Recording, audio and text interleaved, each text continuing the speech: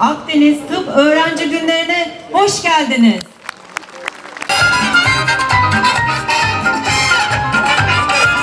Saygıdeğer rektörüm, saygıdeğer rektör yardımcım, değerli hocalarım, sevgili öğrenciler, e, Akdeniz Tıp Öğrenci Günlerine hepiniz hoş geldiniz, onur verdiniz.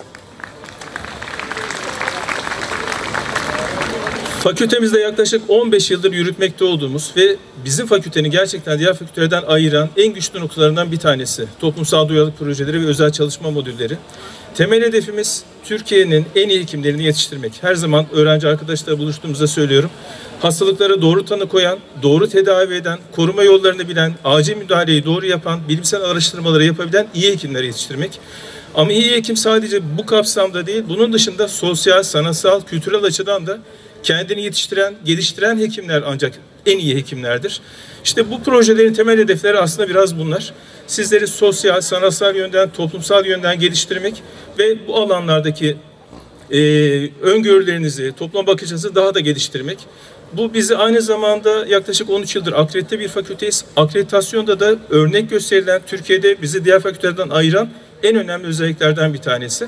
Bugün hep birlikte bu yıl boyu yaptığınız projeleri değerlendirdik az önce ve biraz sonra da dereceye giren, tabii herkes dereceye girdi. Benim gönlümde herkes çünkü projesini başarılı bitirdi ama en iyi ilk de bir ödül belgesi vererek teşekkür edeceğiz.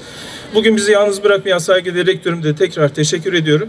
Ee, herkesin, tüm hocalarımızın, emek veren tüm e, öğrenci arkadaşlarımızın tekrar eline, emeğine sağlık diyorum, saygılar sunuyorum. Teşekkür Değerli hocalarım, sevgili öğrencilerimiz, bir Akdeniz Üniversitesi Fakültesi öğrencisi olarak burada olmaktan inanın çok büyük bir heyecan duyuyorum.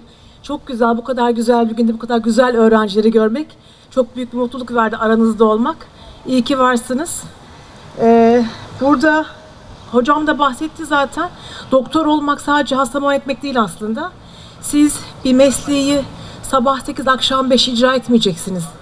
Siz bir hayat tarzına doğru yol alıyorsunuz ve yaptığınız şey aslında toplumla her an iç içe olmak ve toplumun bütün e, bütün sorunlarını özellikle sağlıkla ilgili, sosyalle ilgili elbette e, kulak kabartmak ve bir şekilde onlara e, rehberlik etmek ve çözüm bulmak. Bu anlamda hepinizi tebrik ediyorum.